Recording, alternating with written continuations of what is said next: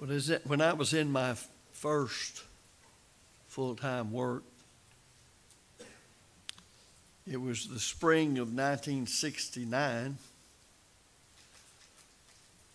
and in the county seat of Calhoun County, Arkansas, Hampton, being, I guess, the new preacher in town, they asked me to do the baccalaureate sermon for the graduating seniors of the ha- Hampton High School,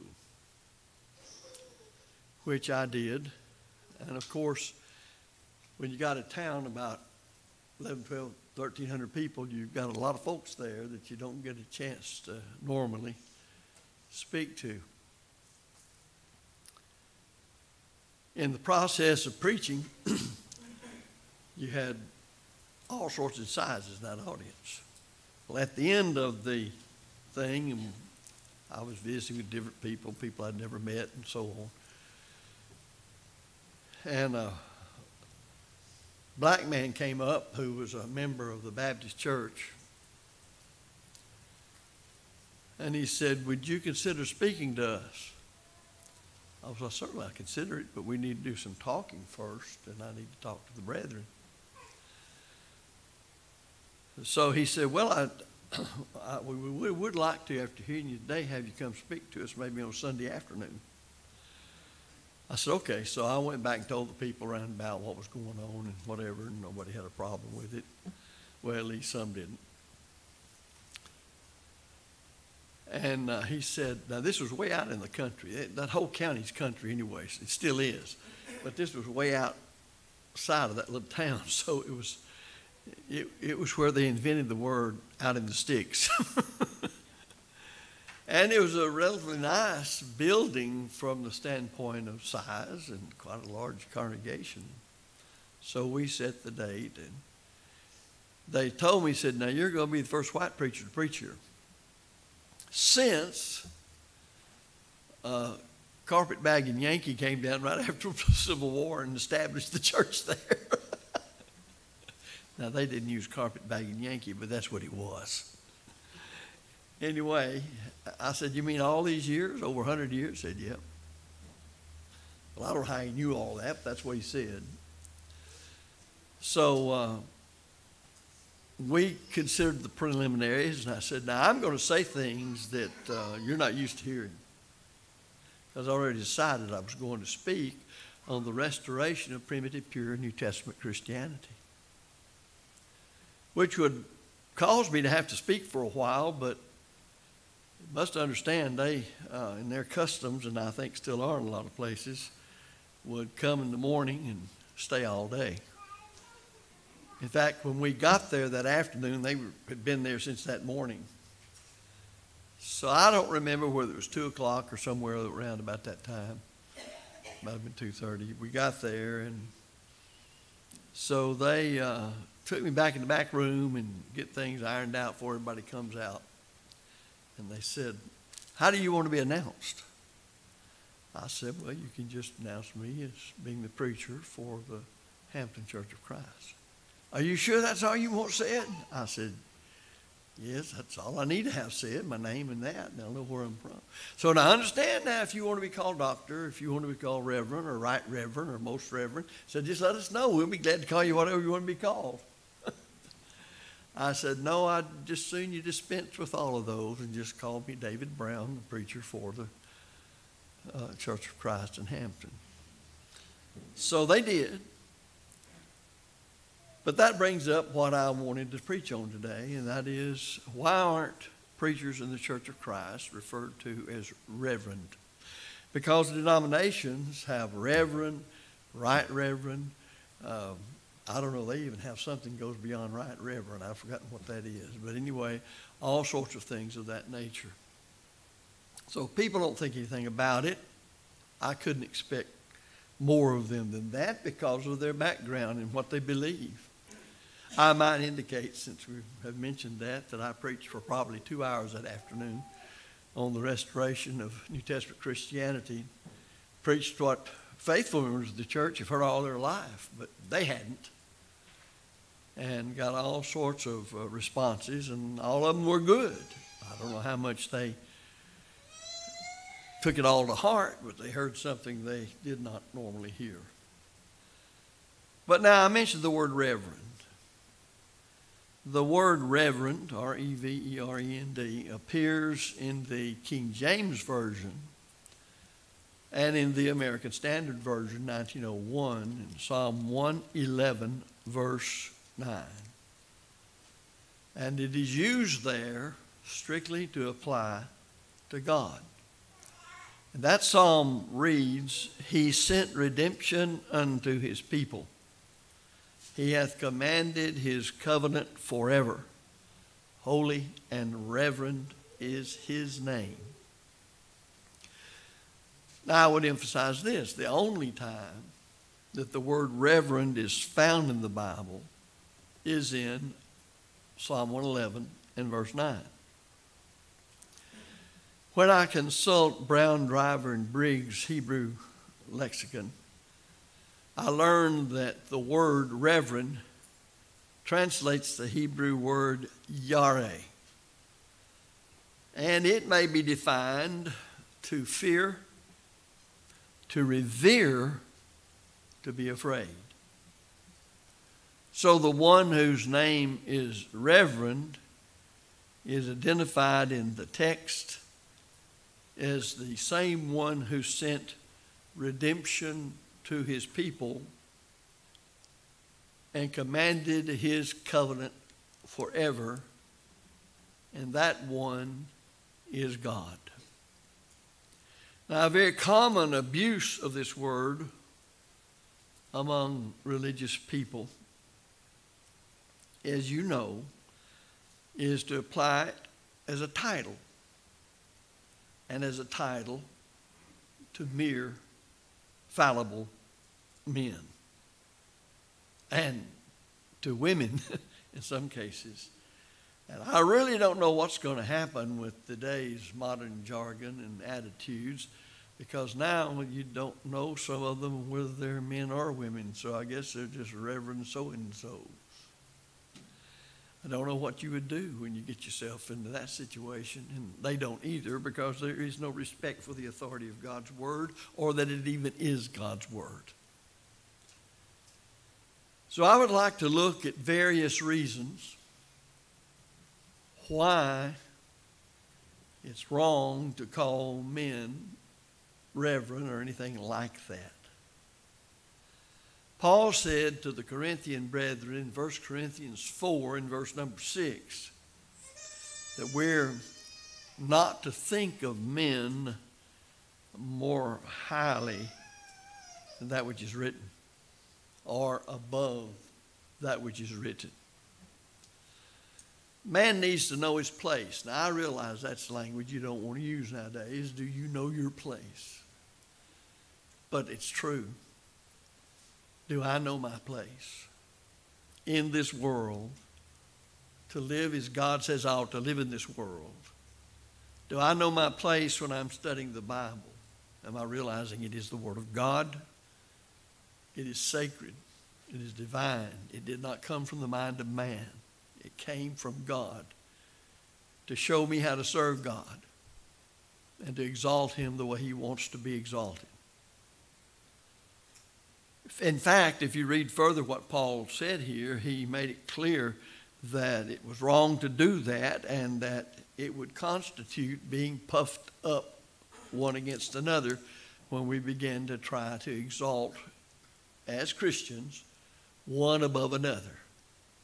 You can see there was a problem of that in the use and misuse of miraculous gifts in the church in Corinth. Those who were speaking in languages they had never studied by miracle were saying, Don't you wish you could do what I do? And they were looking at the other gifts as not being nearly up to snuff, as we used to say, when it came to speaking in tongues or languages.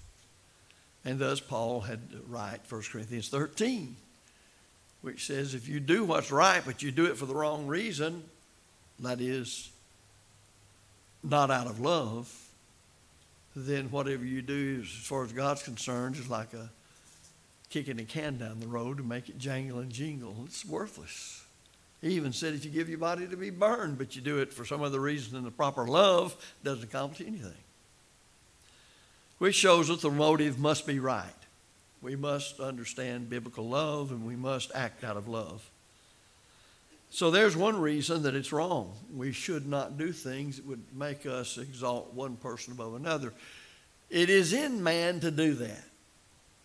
We see a person with a high degree of formal education. Maybe that person may not have that, but he or she may uh, be thought of highly in the community or for some other reason. And we say, oh, look who that is. We had a problem with that back in the first century. James dealt with it, where wealthy people were making the poor people uh, have to be in the poor seats of the house when they shouldn't have. It's easy to do that and to think that uh, we're something special. But in the church, everybody is on an equal par. When it comes to practicing what God wants done to be saved. Everybody, regardless of race, ethnicity, wealth, age, obeys the same gospel in the same way. And our worship today, if acceptable to God according to the authority of the Scriptures, we all worship the same way. So that's the way we ought to understand things. That's the way it was meant. That's what Paul meant in Galatians chapter 3, the last two or three verses of that chapter. There's neither Jew nor Greek, bond nor free, male nor female, for you're all one in Christ Jesus. That's the idea. Now, it doesn't mean there aren't different offices in the church because he makes it clear there is. But insofar as the way we worship God and the way we serve God, we're directed all by the same word, and everybody has the same view of God and the way we approach Him. So we do all we can to make it that way. There's another reason that calling someone reverend as far as being a member of the church is wrong. It's wrong for Christians to exercise dominion over other Christians. In Matthew chapter 20, verses 25 through 27, our Lord said this Ye know that the princes of the Gentiles exercise dominion over them, and they that are great exercise authority upon them. Now listen how plain this is. But it shall not be so among you. The kingdom of heaven is different. But whosoever will be great among you, let him be your minister. And whosoever will be chief among you, let him be your servant. Matthew 20, again, verses 25 through 27. Now, the word here is katakutio, and it means to try to show one's authority over. You consult any of the Greek lexicons and you'll see that. To try to show authority over. And students of the New Testament concerning the New Testament church will recognize the practice prohibited in relation even to the role of elders. They're not to be lords over God's flock. They rule in the area of what's expedient, what's advantageous to carrying out the church's obligation, and in doing so, they have to do so knowing what the church can do. It would be this is extreme, but it would be highly ridiculous, absurd, and silly even for the elders here to say, now, the last Sunday of February, we're going to give a million dollars. We expect all of you to dig down deep and let's give it. And if you don't, we're going to exercise dominion over you at least to the point of we're going to say you didn't obey the elders and we're going to withdraw fellowship from you. Well, I say that's ridiculous, but there are things that happen sometimes like that on a less ridiculous view because elders can go astray and they can bind things on people that just are ridiculous. Now you say, well, such as that would never happen. In the great apostasy of the church in the first 300 years that it existed, and that's one of the values of studying church history at that time. They did things like that. They were that tough in the dictates as to what you could say at a certain time over a certain matter and what you couldn't. All of that kind of thing. It gets rather interesting to see that. Uh, I'll say this in passing, it has no direct bearing on this business of why uh, that faithful Christians don't call their preachers reverend. But the Council of Nicaea took place in 325 AD. And it was the beginning of saying we've got to have something here, since they'd rejected the New Testament as authority, to determine who's faithful and who's not. It gets rather interesting to see how all that came together. And then what happened over the next many years, because what it established was the kind of thing I'm talking about. You can't do this and this and this. You can't do that. They didn't have any more idea than people do today of the proper authority of the scriptures are to ascertain it. And they had already gone a long way down the drain of apostasy before they'd ever do such a thing as what they did in the Council of Nicaea. It just compounded after that. So, we need to understand there's a difference in obeying the authority of the elders and what the elders are to bind on the church in the area of what's most expedient, advantageous to discharge the obligations God has put on the church, where their elders are not, by the way.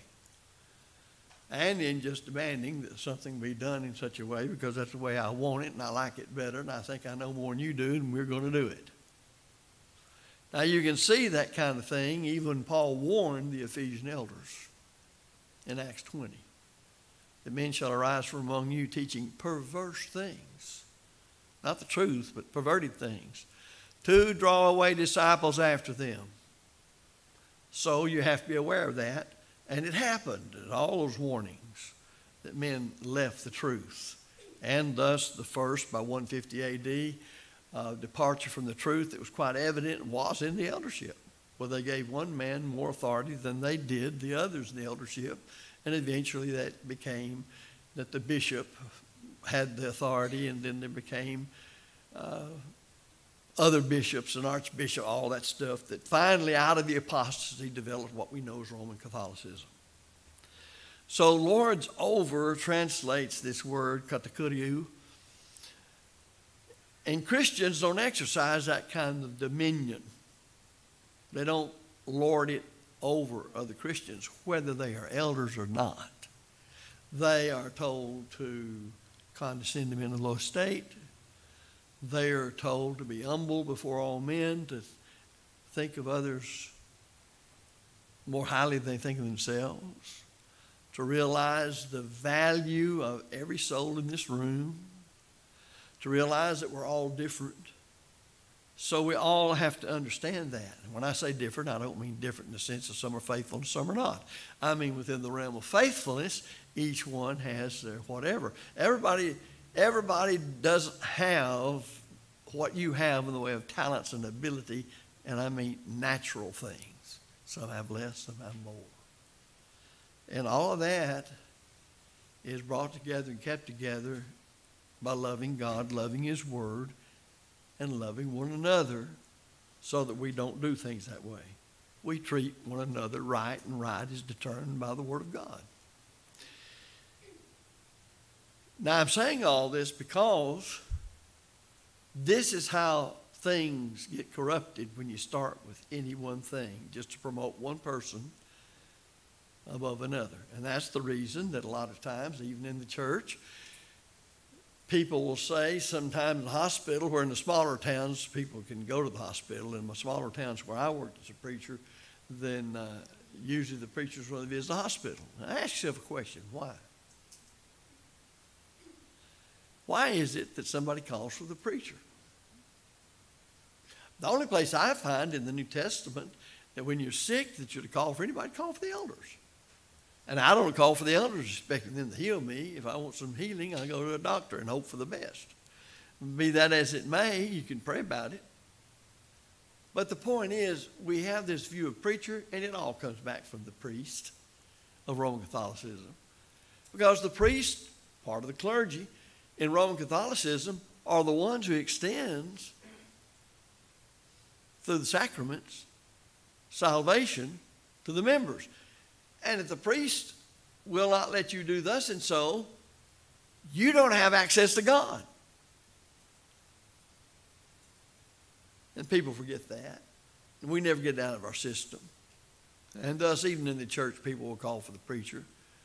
Well, I don't mind seeing people call for the preacher if they want to visit.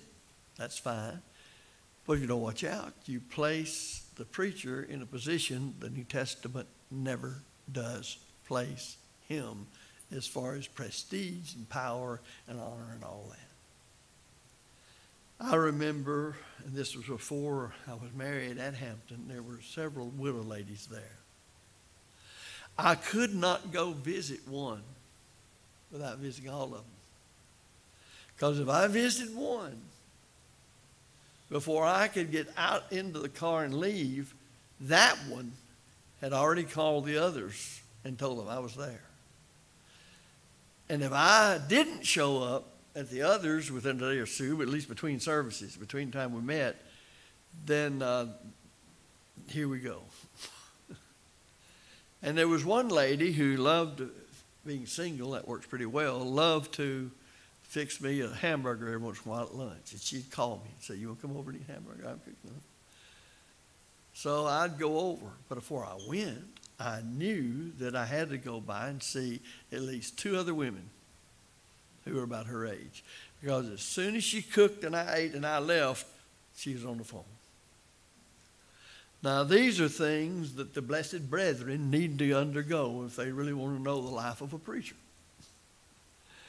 Because this kind of thing, you're, you're wide open for all spaces. I remember talking to a, a young man who grew up, his daddy was a preacher, and they lived uh, close to the church building.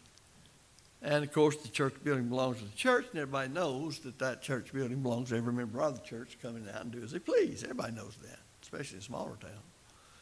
And he said, I got so aggravated with all the kids running our house after services and getting a glass of water to where I couldn't even find a, a clean glass uh, to drink out of.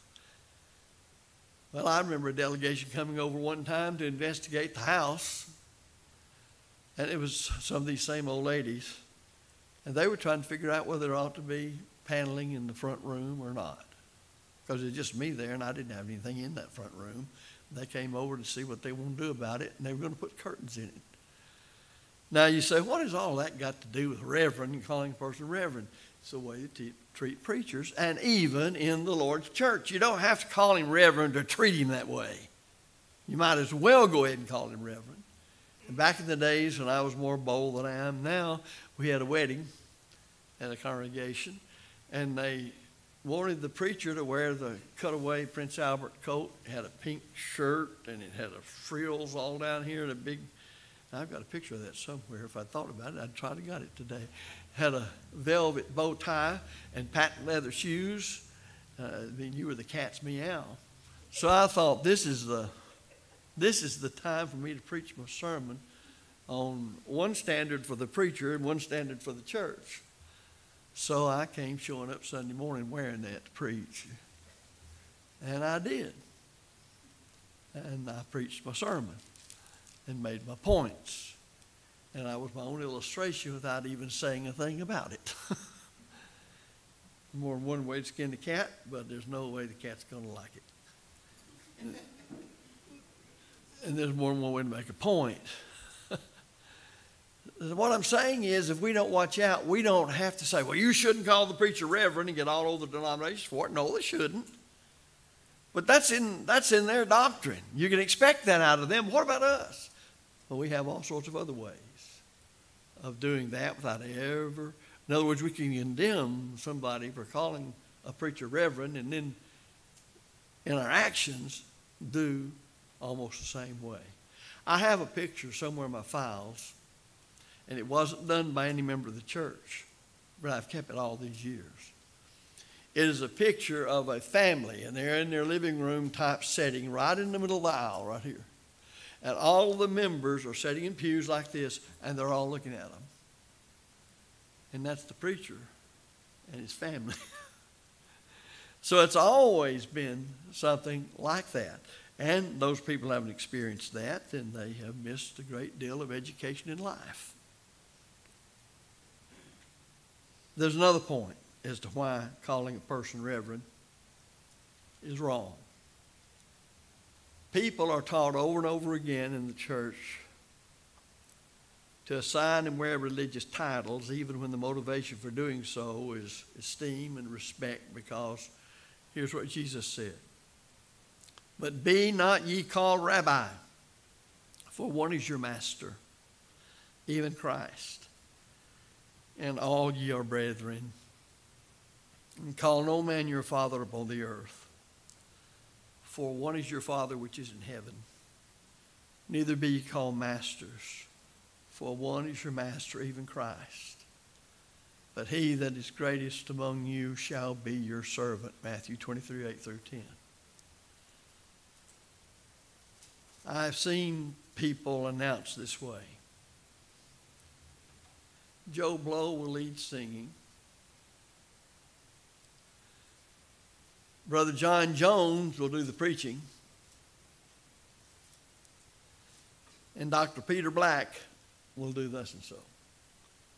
Well, I know when you've got an earned doctorate and whatever it might be, it's an earned doctorate. Somewhere, some academic institution had people who are qualified to say that if you go through this series of studies and accomplish it rightly, we will confer upon you whatever doctorate it is. And it's usually a rigorous task to reach it. I have no problem with that kind of thing. I do have a problem with somebody having a PhD in history, and he's a preacher too. In fact, that's what he does, he preaches. And so they want to call him doctor because he's a preacher. They don't care about his history. Nobody cares about history but historian. But they want to call him doctor because he's our Dr. Brown. We've got a smart man that won't work, and it goes right against what Jesus taught here, and people don't see that, don't see a lot of things. Another point is it's wrong for man to call himself God, and that's precisely what we're doing when we say reverend. In 2 Thessalonians 2 and verse 4, the scripture reads, concerning great falling away, who opposeth and exalteth himself above all that is called God or that is worshipped, so that he as God sitteth in the temple of God, showing himself that he is God. In other words, we, we as Christians don't want to do that kind of thing, whether it's actually calling us God or not, except Roman Catholicism. The Pope is God's vicar on earth, and he's sometimes called Lord God the Pope. Because when he speaks in his official capacity, called ex cathedra, then that is a pronouncement of heaven, just like the writings of your New Testament. We got away from all that. That's what we're trying to do. We're trying to follow Jesus and how we ought to think of one another in the church as brethren in the Lord. We all have different assignments. Some qualifications have to be met for some of them. But nevertheless, we're all just simply doing our work we can do according to our several talents under the authority of Christ. It's wrong to refuse to speak as the oracles of God, 1 Peter 4.11. Thus, we don't want to be called reverend for the various reasons I've said, and because we want to speak as the Bible teaches. It should be sufficient for us to say, uh, brother so and so, or sister so and so. Now, when I was in college and there were men there in a collegiate academic atmosphere, uh, I might call them doctor, and I did.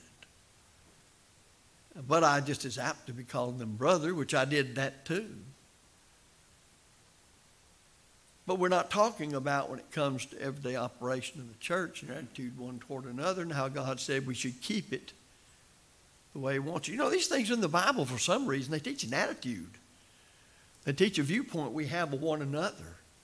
And that's the whole thing. It's wrong for men to set anything into the church that's not authorized by Christ, who is the head of the church and has all authority. Paul taught that God set some in the church.